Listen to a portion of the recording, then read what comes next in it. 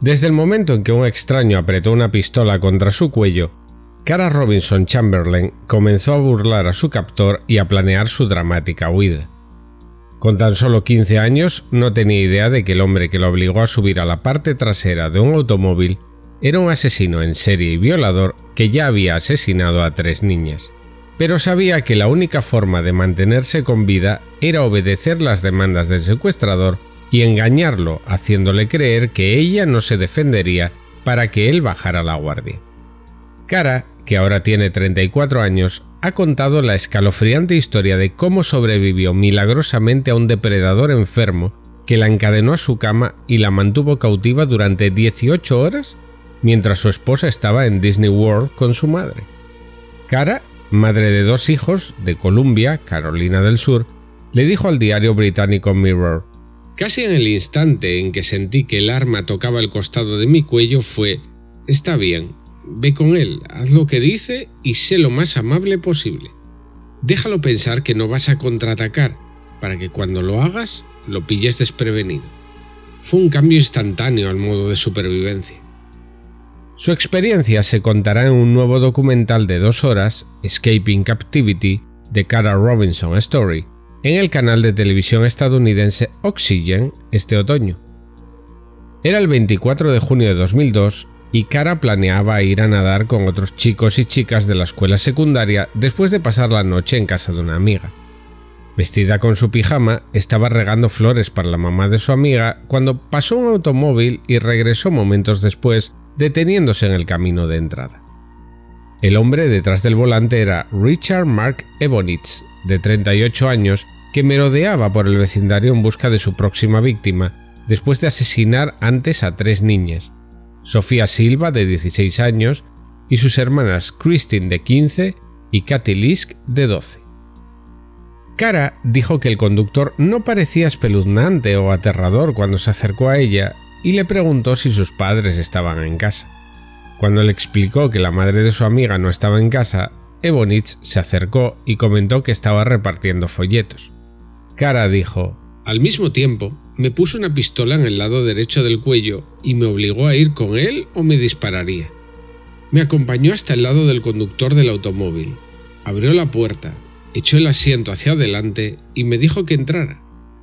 Obligada a meterse un gran recipiente de plástico en el asiento trasero a plena luz del día, trató de realizar un seguimiento de los giros del automóvil e incluso de memorizar el número de serie dentro del recipiente. Desde ese momento me di cuenta de que probablemente él no me dejaría ir y que dependería de mí salir y escapar. Quería reunir tanta información como pudiera para averiguar dónde estaba y quién era él para identificarlo más tarde.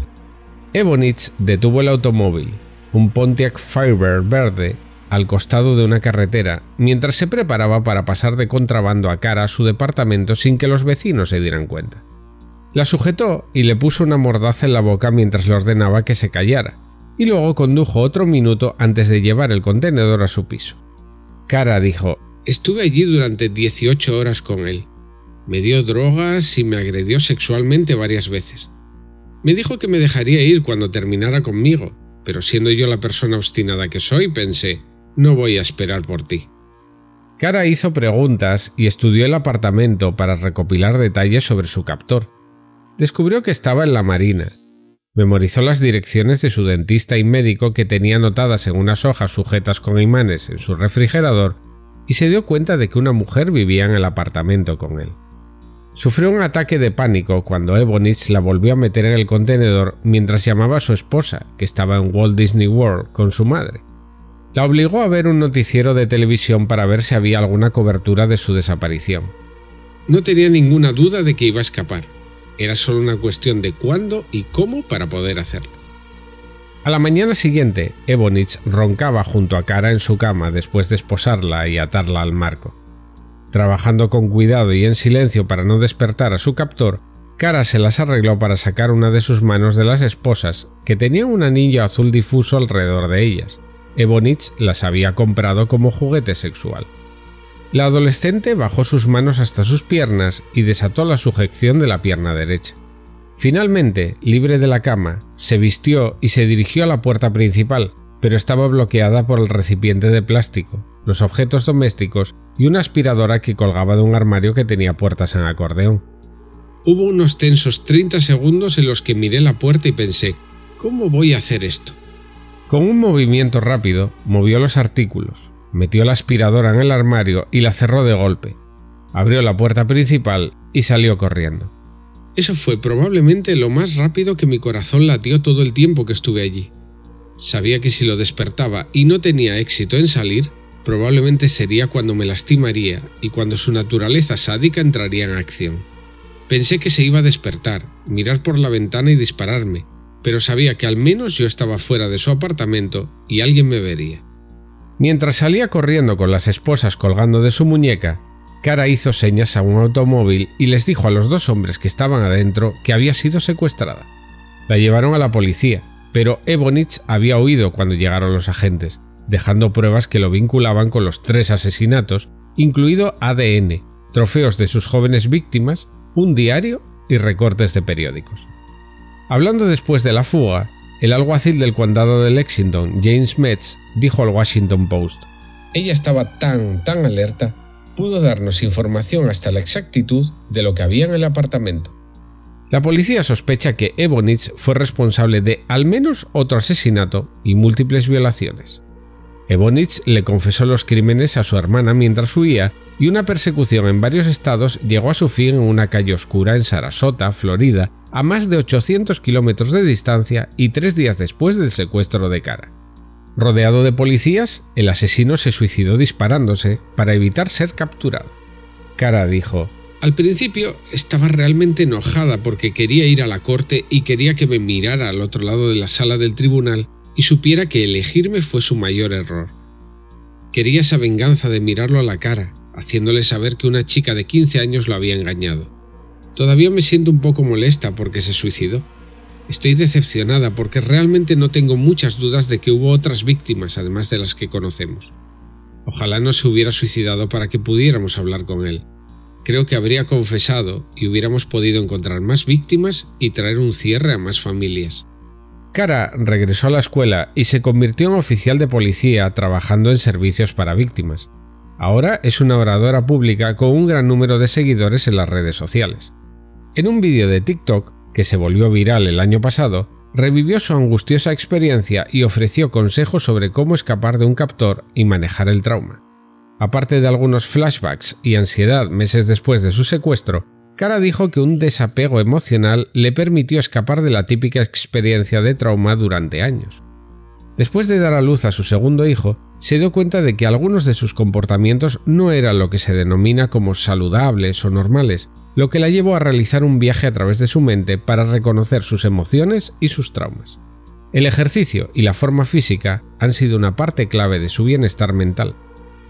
El 25 de junio, o Día de la Libertad, como ella lo llama, marcó el 19 aniversario de su fuga con un ejercicio llamado Para las chicas, que incluía un ejercicio para Sofía, Christine, Katy y ella misma. Es difícil darse cuenta cuando estás haciendo ejercicio porque tienes que estar en sintonía con tu cuerpo. Ha sido una herramienta para ayudarme a volver a mí misma. Han pasado 19 años y definitivamente estoy trabajando en este viaje de saber cómo me afecta todo lo que he vivido. En cuanto al asesino, Richard Ebonitz, de 38 años, se suicidó después de que su víctima de secuestro de 15 años, Cara Robinson Chamberlain, escapara y condujera a la policía a su apartamento en Columbia, Carolina del Sur, en junio de 2002.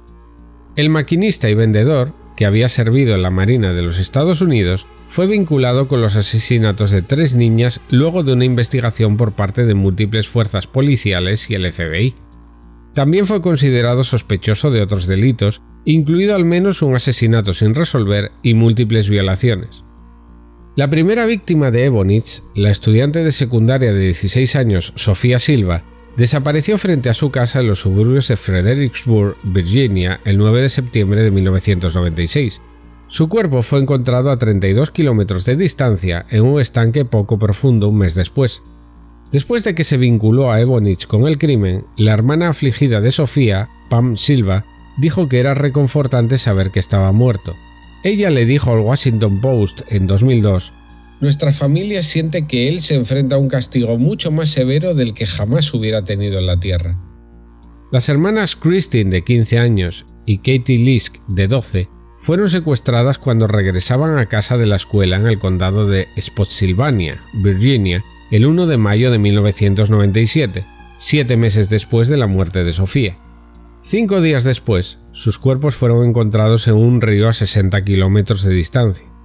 Su devastado padre, Ron Lisk, dijo a los periodistas en 2002, A Patty y a mí nos robaron a nuestros hijos, y a todos ustedes en nuestra comunidad les robaron la confianza en nuestro prójimo.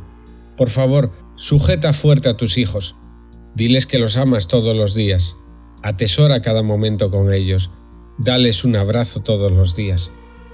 Las policías de Virginia y Carolina del Sur y el FBI trabajaron juntos después del suicidio de Ebonitz y reunieron pruebas abrumadoras para vincularlo con los tres asesinatos. En una conferencia de prensa en agosto de 2002, el alguacil del condado de Spotsylvania, Ronald Knight, lloró junto a las familias de las niñas cuando anunció que los casos habían sido resueltos. A pesar de sus depravados crímenes, su viuda, Hope Ebonitz, lo apoyó y le dijo al Washington Post en ese momento, Él era mi esposo, sigue siendo mi esposo y lo amo mucho. Richard Ebonitz había vivido en Fredericksburg cuando Sofía, Christine y Katie fueron secuestradas y asesinadas. Su cabello coincidía con los pelos encontrados en los cuerpos de las niñas, junto con fibras acrílicas azules de un par de esposas peludas que había comprado como juguete sexual. Ebonitz había usado esas esposas para inmovilizar a Cara dentro de su apartamento en Columbia en junio de 2002. Después de que ella escapó, la policía registró el piso y encontró pruebas que incluían trofeos que les quitó a sus víctimas, un diario con detalles de sus crímenes y recortes de periódicos sobre las niñas asesinadas. Sorprendentemente, la huella de la palma de Christine fue encontrada dentro del maletero del auto de Ebonitz cinco años después de que fuera secuestrada. Los oficiales también registraron la antigua casa del asesino de niñas en Fredericksburg, donde las fibras de la alfombra coincidían con las encontradas en los cuerpos de Sofía, Christine y Katie.